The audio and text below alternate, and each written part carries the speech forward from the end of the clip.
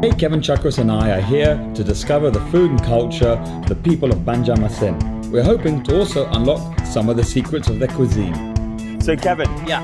this is called Mama Itik Mama Itik Baiti Gambut. What that means basically, it is duck. Because it's very close to Malaysia, the duck is called itik. Bu, apa itu? Ada habangnya? Ya. Yeah. merah Bumbu merah. Terus ini ada babek ya. Babek. Ini apa? Ikan ya. Ikan gabus. Okay.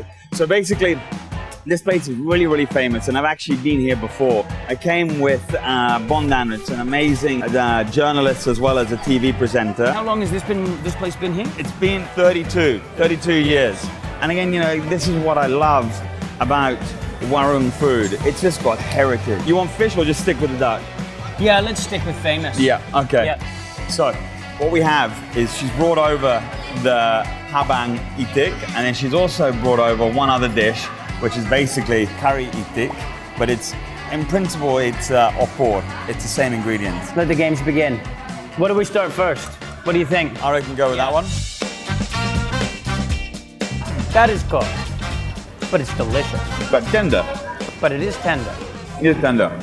It's interesting that people, when we cook, people look at it in a very, very different way. Yeah. Of the way that I cook, which is not so much about the the the, the protein. Sure. We put the sambal with it, and that, and that just lifts the whole thing up again. Does, yeah, it's it is the personality of the dish because I mean no one is saying how good the rice is. No. I mean, right? I mean the sambal is it's I mean it's the choir. it's interesting with Indonesian food, or any Asian food. You get a dish as it is, very tasty, a little bit sweet, Yeah. A little bit sweet. but you layer it with the sambal, it takes on a whole other profile. doesn't it? And that's where I think the difference between Western cooking and Asian cooking, especially Indonesian, it's about layering. Hmm. And if you don't understand the basics of the layering, how can you layer something if you don't know what the basics are from the beginning And where it came and where it came from? So again, you know, it's very important. History is sort of taught through food, and I think when you look at food in general, you'll always learn about the history Yeah. and you'll always see a, where a culture has Yeah. come from, um, from its cuisine. You'll never see it through people's faces, No. but you'll see it in the food. So basically, um, we'll finish off this, and I think we've got somewhere, a couple other places to go, Hmm. and we'll check out them.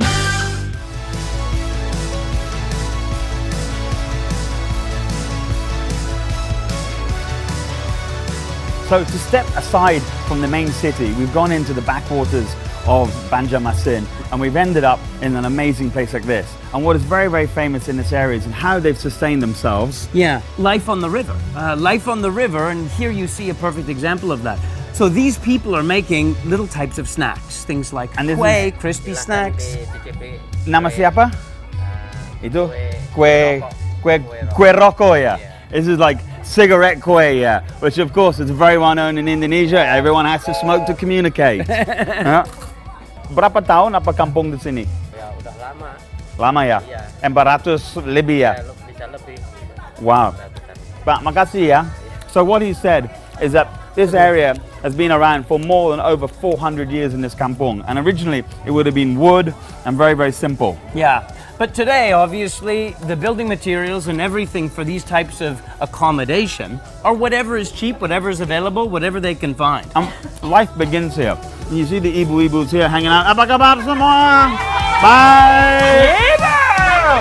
That guy there, and I was speaking to him as well, was saying that he is actually Javanese and he moved over here and married a Banjar woman. People used to come and work uh, in major cities like this and they would come here with nothing, just themselves, and then they would intermarry and create their own family, which then starts communities. It's all about trading. You can see it's obviously started with the riverways being the only form of transport to get their products to sale. From there, communities were built. This place has so much history, and we're only able to get a snapshot of it. I'm looking forward to come back on my next adventure and discover more of this wonderful city.